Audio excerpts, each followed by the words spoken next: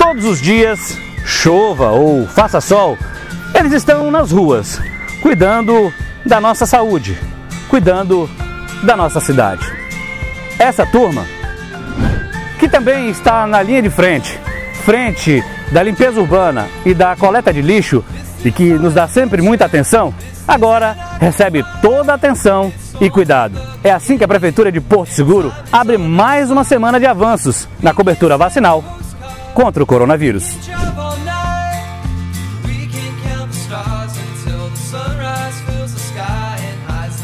Meu nome é Célia Pereira dos Santos e eu fico muito contente por essa vacina ter vindo pra gente, porque nós somos da linha de frente, né?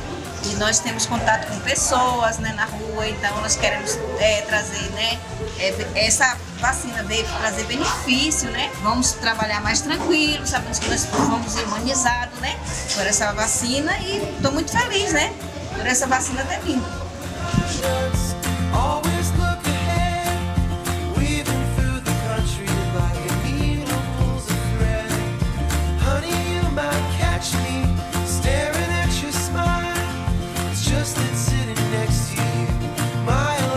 Prefeitura de Porto Seguro. O Brasil nasceu aqui.